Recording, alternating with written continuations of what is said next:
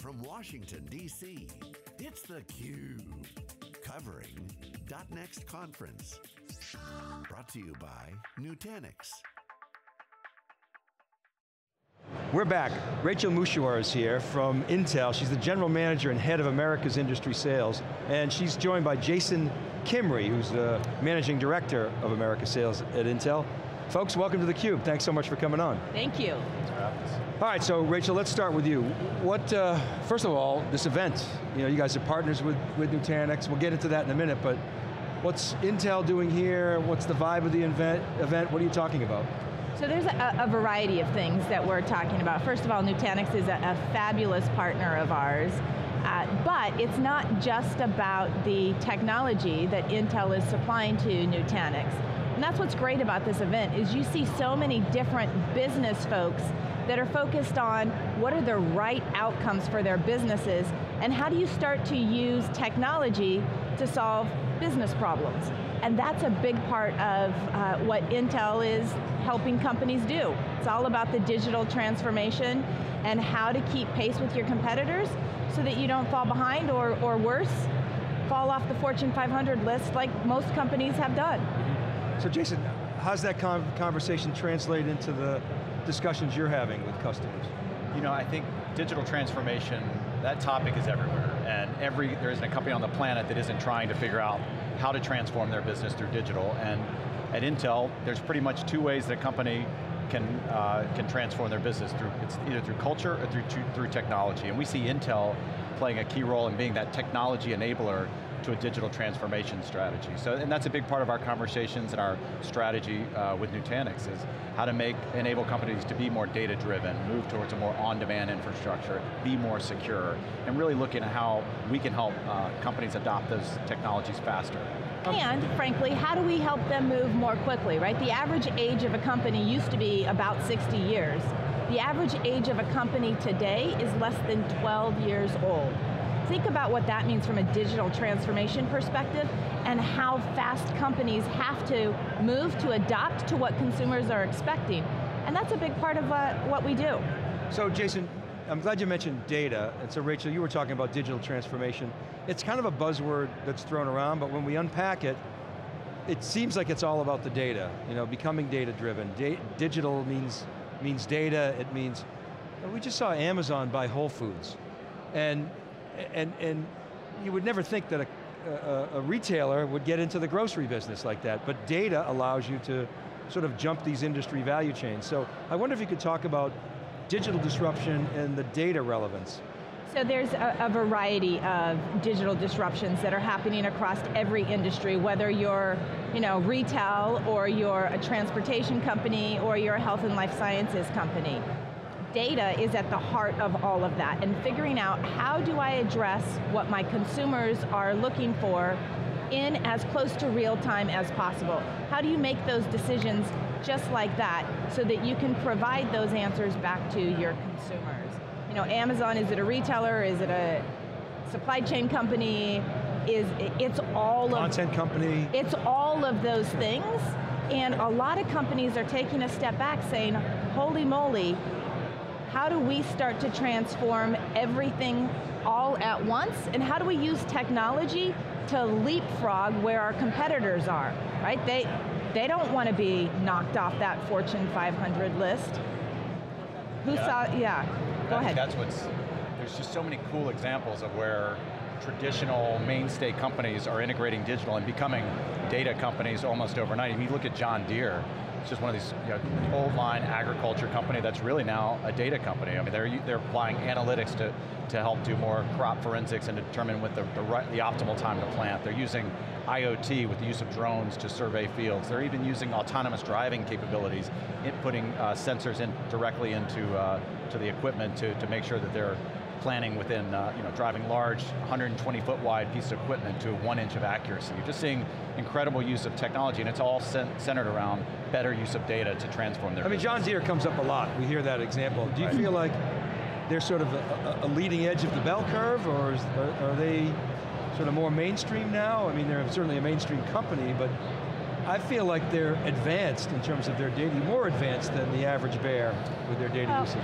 What's interesting about that is between now and 2018, the board of directors from all of the major companies out there will have digital transformation as part of their agenda. Probably about 60% of all of the companies that we talk to are talking about some level of digital trans uh, transformation. So it's not just John Deere. You think about all of the big brands, especially with some of the big changes that are happening from a technology perspective. Whether it's autonomous driving, it's you know the use of the of the smartphones, right? Apple just celebrated what its 10th birthday for an iPhone. This is the least amount of change that any of us will ever see in our lifetimes, just because of how fast technology is moving. So, Jason, we, have been interviewing Intel at I think every show we go to. The cloud shows, server, storage, you know, across the board. How, how, does Nutanix differentiate itself? How do you partner with them? You know, understand, of course, they've got the x86, but a lot of it's you know software. Uh, you know, the hooks that Intel's been bu building for a long time. Can, can, can bring us a little bit inside some of the sausage making. Well, we've been talking about the, reimagining the data center for years, and I think what's been really cool about Nutanix is they really are bringing that concept to life and really reimagining the uh, the data center platform. And I think what we've done is through silicon and a lot of our enabling technologies, we've always tried to provision those up for our partners to build innovation on top of, and Nutanix has done as good of a job as anyone, is really taking advantage of those capabilities and bringing them to their customer in a way that they can consume and digest quickly, implement quickly, and really start moving fast on a, on a data center transformation strategy almost overnight. So you talk about the digital transformation. Nutanix is one of those leading indicators out there as a strategic partner for us of how do you help companies evolve to what they need to be to meet consumer demand and using some of these amazing data center technologies and reimagining what the data center looks like that's Nutanix. Yeah, it, Rachel is curious. You know, I, I, said I've yet to find a CIO that said they have a convergence challenge or issue. Uh, talked to lots of companies that are trying to figure out their cloud strategy, but it's more how are they transforming to be more a software company. You know, I, I, interviewed, uh, you know, a, a, large, you know, financial services company that says we're going to be a software company that happens to deliver uh, the, these type right. of solutions. So, you know, you know, what are those critical issues that you know your customers are talking to, and and yeah, how, how does how do you see Nutanix you know, you, have said they're helping with the digital transformation. You know, how, how, do they get there and how do they do even more? So there's a, a variety of ways that Nutanix is really transforming that whole data center industry. And a big part of it is time to market. You know, one of the biggest roadblocks from, a, you know, from CIO's perspective, as you said, it's not about what they want to do, it's about how they go do it, and they start running up against a variety of roadblocks of, oh my gosh, that particular application stack isn't certified on this, or this software won't work on this hardware.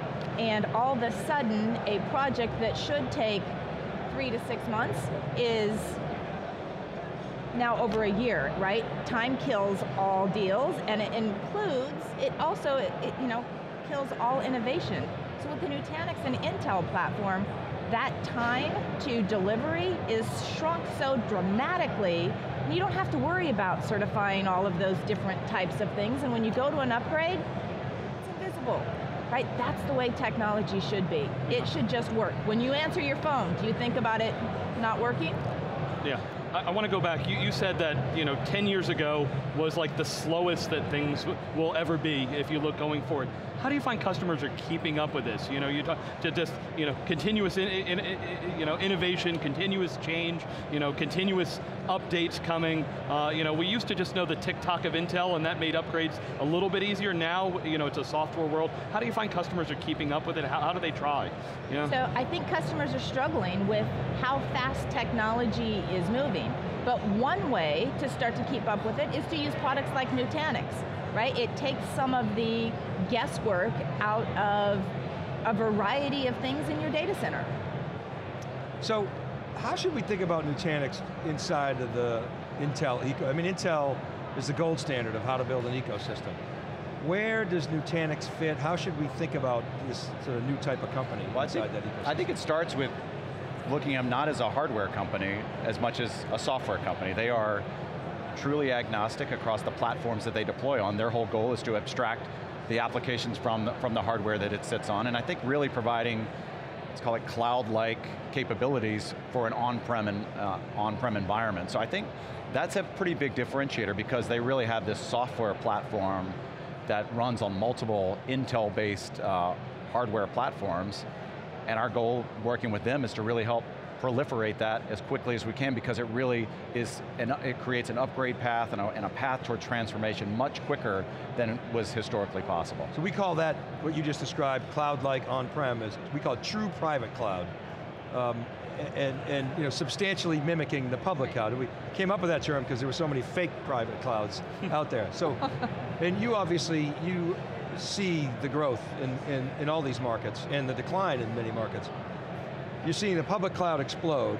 We see this notion of mimicking the public cloud on-prem as a huge growth area. Are you seeing the same thing? What kind of, can you add some yeah. color to that narrative? So, you know, when we talk to customers, again, across multiple industries, whether it's an energy industry, it's a uh, trans, uh, transportation industry, it's manufacturing, you name the industry, they're all struggling with the same thing, right? Yes, public cloud is exploding, but a lot of CIOs are taking a step back saying, hey, there's some part of my data that I want to keep absolutely inside of my private cloud. There's some data that I always want to keep on-prem, and there's some pieces that I want to put out to the public cloud.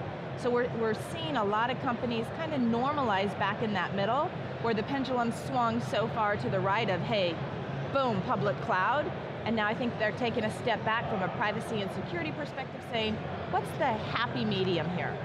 Yeah, so, please. Well, I just, I, I think we, we just, public cloud, which we love, did an incredible job of making people aware of how quickly it, it was possible to deploy resources or deploy VMs very quickly in a way that was never possible before in an on-prem environment.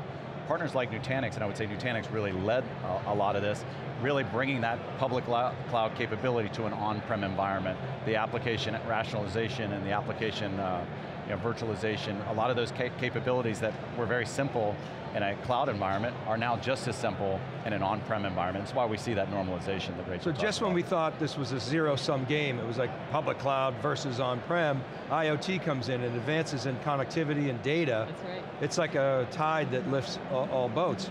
What are you guys seeing in IoT? Maybe you could make some comments there. Sure. So I think IoT is just beginning to catch the, the next wave for, you know, for a while, folks have been talking about the Internet of Things and how it's going to help transform industries and how you can use sensors to detect everything from, you know, or, uh, soil erosion as related to the John Deere to what are we doing for an average consumer who walks down uh, an aisle in your favorite retail store? How do we start to deliver them personalized messages? So IoT is again changing that game and moving up that sigmoid curve of change. Mm. And you go back to, look, today, right now at this moment, it's the least amount of change that you'll see. In five minutes from now, there's going to be some other big tech announcement or some big evolution, and that's the that's kind of the beauty of where we sit in today's world. It, about every hundred years, we enter this big change or this big disruption. And this one is going to be driven by compute. And Intel is all about compute. Are you guys paranoid? I Absolutely. think we're excited, but paranoid as well. Only the paranoid survive. That's right, that's right. Yeah, we're, you know, this, this, data explosion through IoT, it really fuels what Intel calls our virtuous cycle of growth. The more data, the more endpoints that, that, that hit the network, the more data that creates, the more requirement for yeah. data center oh, and data. I, I totally agree. We, we used to say it was kind of customers that were the flywheel, and data is the, is. the, the potential to be the flywheel for the next so we're, 10 years. Yeah, to Rachel's point, we're excited. Data is the new oil, but the magic is going to be in how we refine that data.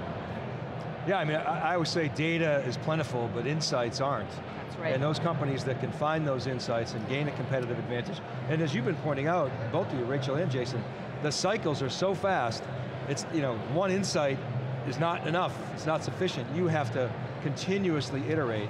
Speed is the game. It is the game.